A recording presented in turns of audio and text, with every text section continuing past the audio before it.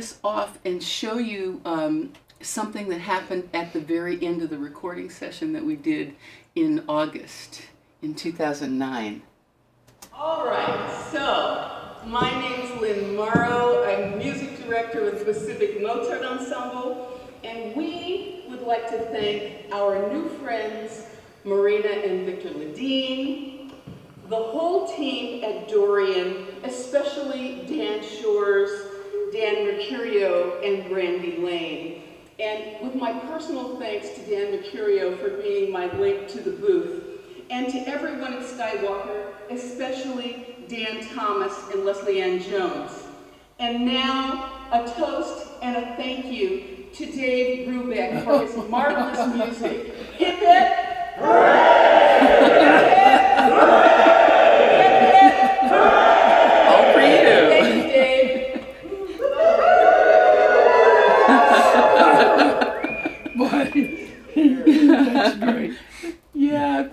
a chance to see that. We were Yeah. really excited and really grateful to you for allowing us to record your music.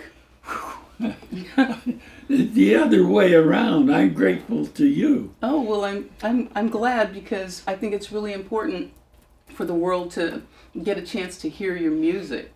Yeah. So I I want to talk about it a little bit um, because you have been a star for 50 years. You just won the Kennedy Center honor, which is a great lifetime achievement. And uh, just in talking about the songs of praise, can we start with Canticles? Yeah. That's the largest piece on the CD, and it starts it off. Yeah. Yeah. Well, I think that that's a good choice because uh, I like the way all the different Gregorian chants come in one on top of the other. Right. So Yeah. So so when you were thinking about the piece, did you start with the idea of having three pieces uh, fitting together, or how did that start? it's always hard to know. Mhm. When you start, you don't know where you're going to go, go, you Yeah. know? Yeah. and you just keep working and hoping that a form or uh, something will materialize Right. and um that that's what happened with that i didn't know i was going to put all those uh, gregorian chants So when you were thinking about it and trying and getting your inspiration, were you thinking about doing something that was based on songs of Mary, and something religious? well yes uh, it uh, it was done for uh, a catholic priest Uh huh. in his uh, I don't want to call it cathedral, but it's a nice big church. Right. Okay. And uh, his name is Father Ron Brassard. Ah. And uh, he was so apologetic because he said, Dave, I took out the canticles, Mm-hmm. uh, the last one, when you had three stacked up. Right. I thought it would be too muddy. And Hmm. being that he's a, a musician, I, I Ah, listened to okay. him. And when we just played it again in his church, and he said, Dave, I was so wrong. uh, That's fantastic. the way that comes comes in is just great. I apologize for taking it out of the premiere. Yeah. Well, I I'm really excited about the piece. It's three canticles. It starts with the really famous Ave Maria, Yeah. and uh, most everybody knows that theme. And then in the middle is the uh, Concordi Laetitia, which is a very fun piece and has really jazzy rhythm in it. Yeah. Da, da, da, da, da. Yeah.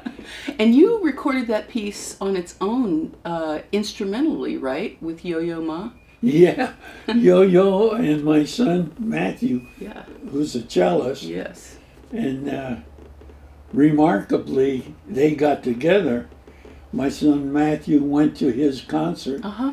and then afterwards he was talking with him, and Yo Yo asked him, "Well, are you a cellist?" And he said, "Yes, I'm kind of a jazz cellist. Uh huh. He said, "Oh, please show me how to do some jazzy kind of things." Wow. So they went back to his hotel and spent hours. Really, right on the spot. Right? Yeah. That's amazing. Yeah. And he's such a wonderful guy. He Oh. really is. That's nice to And my son Matthew, he's uh, really a fantastic improviser, Yeah, but he can sight read anything. that's great. So I shouldn't say anything, but so far he's done okay.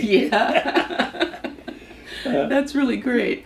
So, um, we were talking about this right at the beginning um, because my goal for this CD was really to get allow everybody a chance to hear your sacred choral music because a lot of people don't know about it.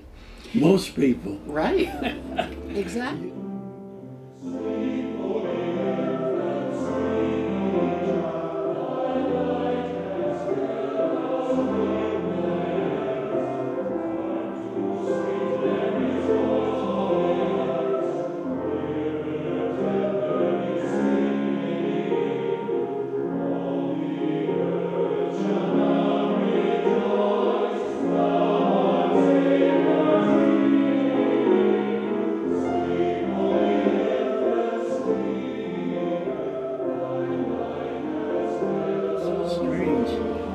Was a, a conductor of a choir in London hmm who said uh, in an interview that he, he liked very much my sacred music. And uh, somebody said, Well, do you like his jazz? And he said, I didn't know he played jazz. That's amazing. He must be the only person on the planet. well, maybe it's going to reverse. There we go. That's great. So, so in your mind, who should perform this music?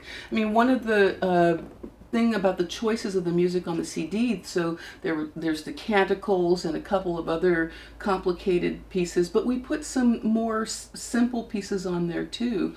Oh, yes, that, that surprised me when uh, I heard the Christmas carol. Uh huh.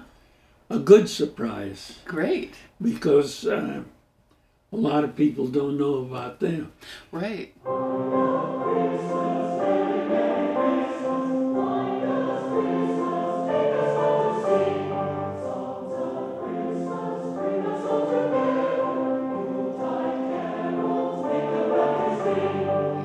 And then people think, oh, well, you have to be adult or very accomplished in order to do the music. But this gives some people who are a little bit more amateur, but they love it, a chance to do some Dave Brubeck music. Oh, yeah. And I, I like that new piece you did, the premiere, The benediction. in it.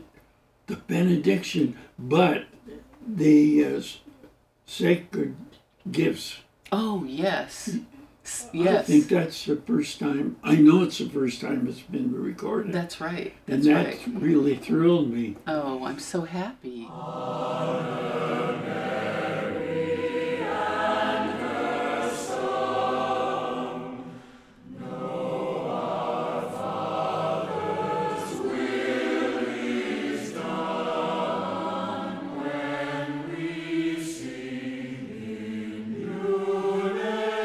I told Iola just before I came over here, you ought to come over. And she said, Well, I have nothing to say. And I said, Sacred gifts? Yes, And exactly. That's plenty to say. Well, she's been your librettist for a long time. She writes a lot of the texts, and how? So how does that work? Does she suggest something? Do you ask her about a topic?